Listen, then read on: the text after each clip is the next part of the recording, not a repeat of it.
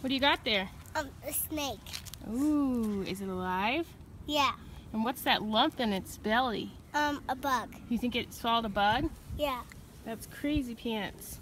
It's crazy. So, is Caden gonna hold it? Yeah. Oh my goodness. Where did you find it?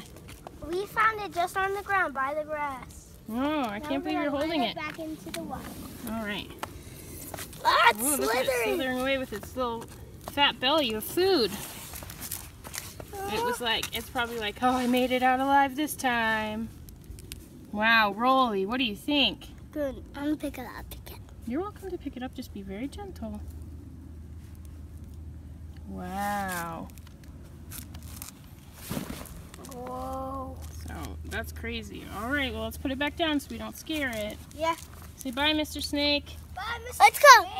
Let's call Snakey. Mm. Bye, Mr.